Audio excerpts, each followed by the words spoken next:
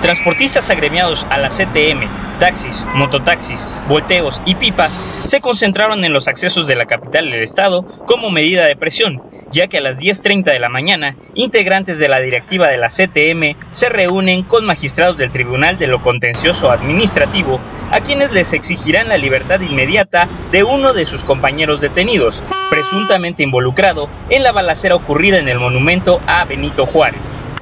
indican que de no haber una respuesta favorable a sus exigencias, bloquearán algunos accesos en la ciudad, como son el Monumento Oriente, Viguera, Cinco Señores, Parque del Amor, Ánimos Trujano, Tecnológico y las oficinas del PRI en Santa Rosa. Para la Onda Oaxaca, Wilfrido Hernández.